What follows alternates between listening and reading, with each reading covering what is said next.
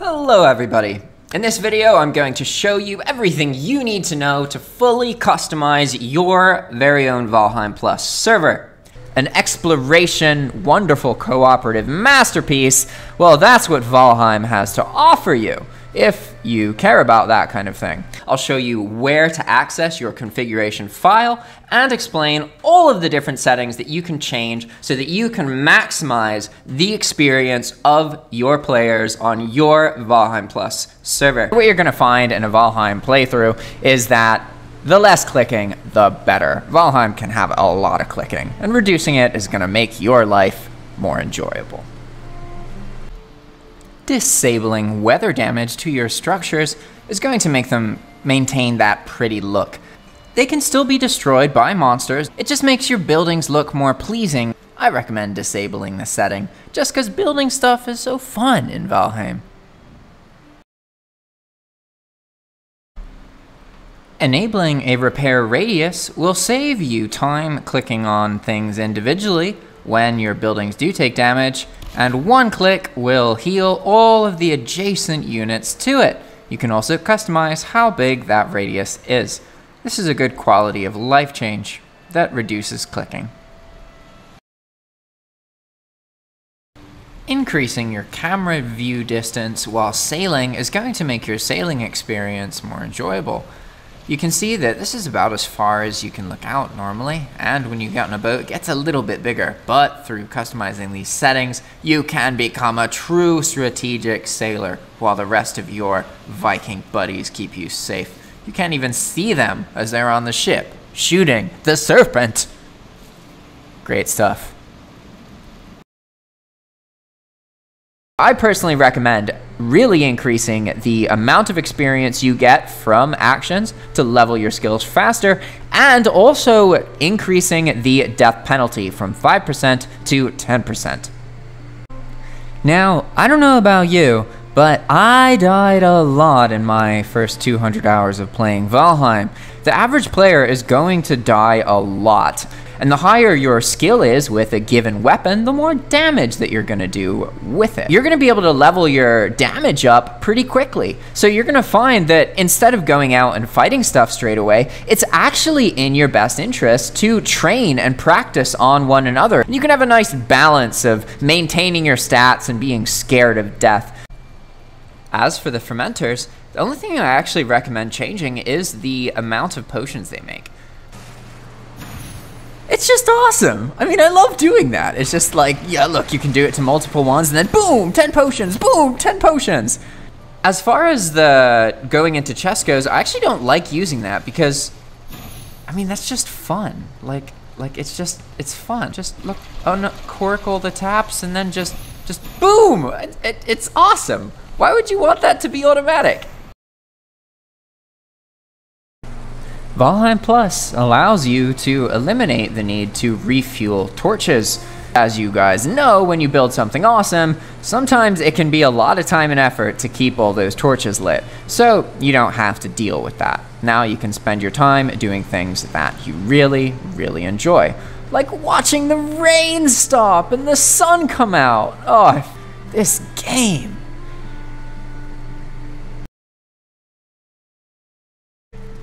Items such as kilns, furnaces, and forges, these all play an important role because in Valheim, you are supposed to go off and have epic adventures. And if you're gonna be here doing this all day, you're not going to go out and have your epic adventure. And what you really want are settings that promote this back and forth of leaving the base and exploring the world and then coming home with resources to improve upon the base. This is the cycle that will maximize the enjoyment out of Valheim.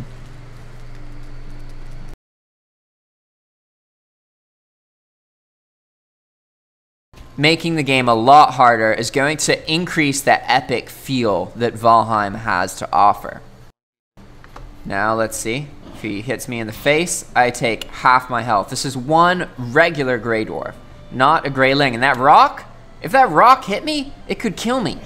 Valheim is only about 50, 60% done. The plains is the last developed biome, so the Valheim map can go all the way east or all the way west.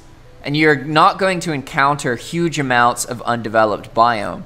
But if you go all the way north or all the way south, you will encounter large amounts of undeveloped biome, and it makes the game feel more empty. We want to make sure that most of the gameplay for our players is happening within these first three biomes because if they progress too quickly through the tiers, they get to the unfinished part of the game and see the emptiness. Valheim is best experienced as cooperative gameplay. You will get ganked, not just by mosquitoes, but by grey dwarfs, by boar, by everything. You must build a base you must work together.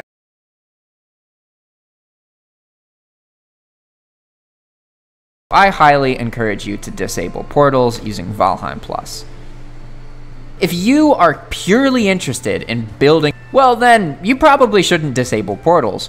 But if what you really want is to have an adventurous, fun time where there's a feeling of risk, if you use portals too much, it decreases the fear of the game. It decreases the, the, the epic feeling that this game has to offer. And portals are going to get in the way of all of that.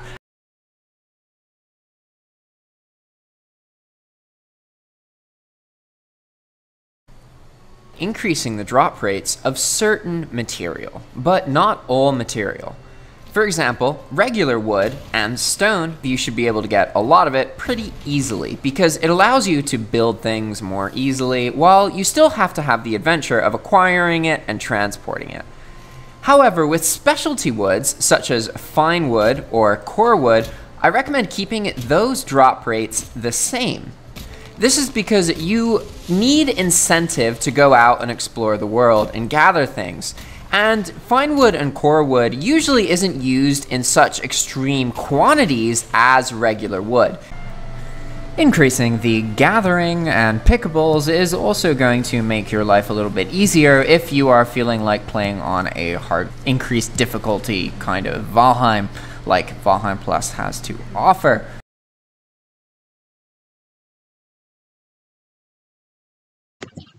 Another thing to consider is changing the armor balance. The way the base game works, a lot of players just use helmets, and they don't use chests or leg pieces. This is because chests and leg each decrease your running speed, and they give you the same amount of armor bonus as a helmet. And I don't think this was intended by the Valheim developers. So I believe that you should increase the armor of the chest and legs by two or three times. This will offset the fact that they make you slower, and especially on a server that is made more difficult, this setting will allow you to progress through that difficulty more smoothly.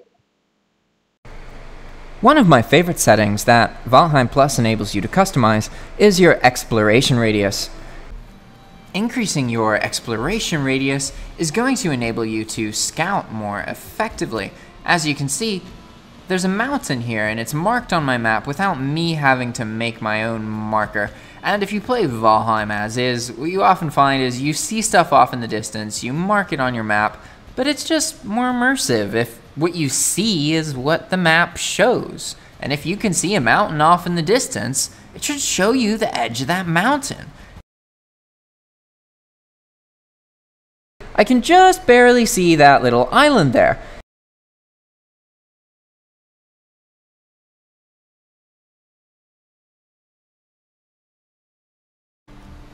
This setting makes planting a lot easier because you can just click and move your mouse around and as you can see, you won't be able to plant things if they're too close to each other.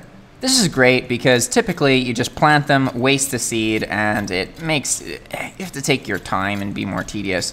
Whereas here I can just spam click and then get it done pretty quickly and have filled that space with a reasonable amount of carrots. Look at that. Because of Valheim Plus, you can see that I can just keep placing these next to each other and it won't even let me place them See? Because they're too close to each other. The normal game will allow you to plant them, and then they will just die and you will lose the crop.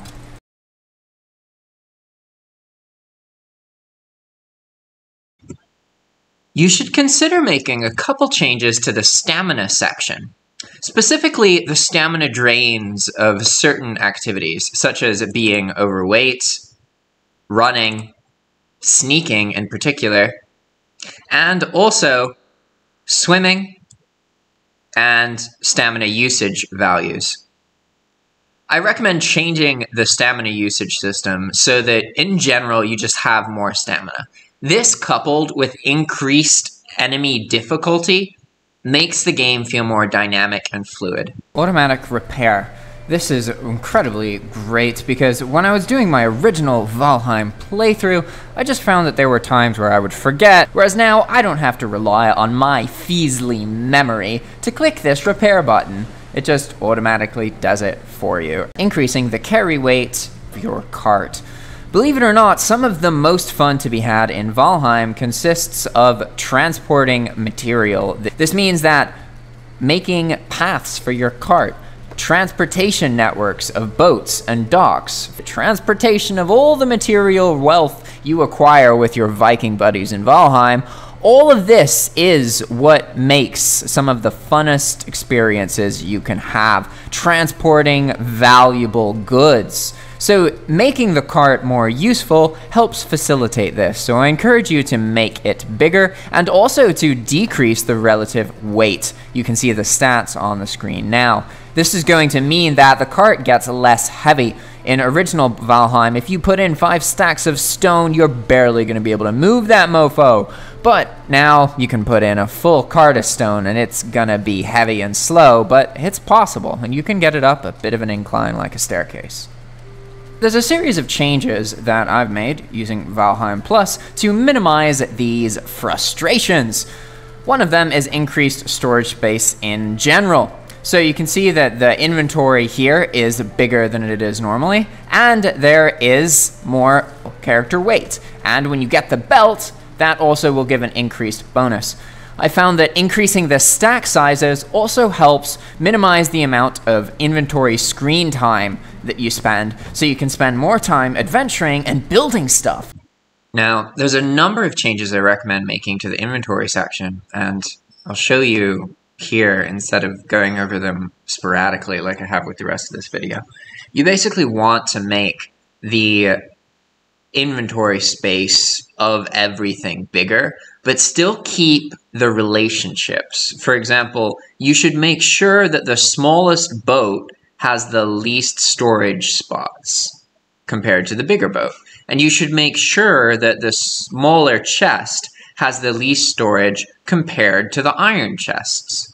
But you can make everything have more and still maintain that balance. And this just reduces inventory management. So I recommend changing things to at least the values here. But really, with the kind of inventory management stuff, anything that leads you to store more stuff in carts and movable objects will directly cause you to have more fun. So you don't need to worry. You can overdo it, make them have too much inventory space, and you're still going to enjoy the game. You can actually go into your settings, as you see here, and you can edit the field of view for first person mode. I personally like having a wider field of view and find that using first person mode allows me to get more immersed. My next favorite feature is the automatic crafting from chest. This is brilliant. It means that you can put a crafting bench near a couple chests and you can craft anything that is in the chests. You don't have to carry around and remember what to put in your inventory and look for crap over and over and over again. You can just make a few dedicated named areas, dump all your stuff in them, and be able to make almost anything you want as long as you have the stuff that you need. And now I'm gonna show you how to set up your very own Valheim Plus server. First, you're going to minimize this video and scroll down and click on the link in the description. that will open up this window, which will show you all of the settings. The first thing you're going to need to pick is the location of your server. After that, you have the game server section. This is where you determine how many players will be able to connect to your game in any given session. I recommend getting the 2 gigabyte memory boost. This is because Valheim is going to use around 3 gigabytes of RAM, so 4 gigabytes is plenty. Having a 10 game server slot comes with 2 gigabytes of RAM, so you only need to purchase 2 additional gigabytes in order to get to the 4 gigabyte point. And this is the minimum. Now you'll get an overview of the settings you pick, and then you can keep scrolling down. You can make your account, after that, you can pick how you want to pay. Once you click register, your server is available. Once you've set up your account and purchased your game server, you can go to the Zap homepage by clicking this web interface icon. From here, you'll be able to see the IP address for your server. This is how you'll be able to join the server. Next, we only need to find your password. To get that, click on Show Game Server. From here, we're going to navigate down to the settings area. Click on the first settings link. From there, scroll down and you'll find the name of your server. My server name is Gully Games Dig Dog Noodles. And then you'll see the server's password. Mine is Dig Dog Noodle.